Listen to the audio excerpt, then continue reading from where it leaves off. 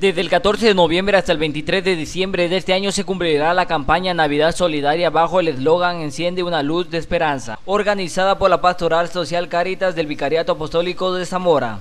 Ya desde el 2010 y que pues ha tenido mucho éxito, ¿no?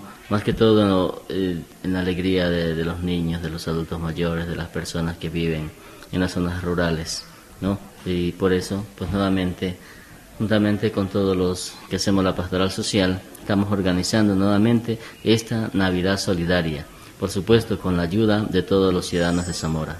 Enio Baque, director ejecutivo de la Pastoral Social Caritas, dijo que la Navidad es una época especial para donar.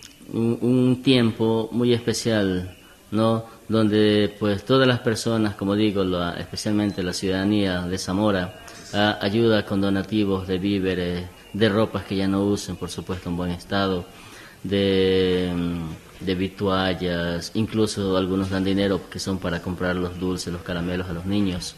Eh, la Navidad consiste precisamente en esto, ¿no? en, en donar, en que las personas que tengan ropas que ya no usen, víveres, en ayudar ahí, nosotros solamente somos los instrumentos ¿verdad? Para poder nosotros hacer de, esta Navidad solidaria, pues dar una alegría a los niños y a los jóvenes y a los adultos mayores. Germán Pazuña, coordinador de Caritas Zamora, puntualizó que las donaciones las receptan durante todo el año y están destinadas a solventar cualquier necesidad de las personas de escasos recursos. Sí, nosotros también, además de lo que son víveres, juguetes, también estamos aceptando dinero en efectivo, donaciones en efectivo que lo pueden hacer ese día o también a la cuenta de ahorros del Banco del Austro a nombre del Vicariato Apostólico de Zamora, número 11 69 86 97.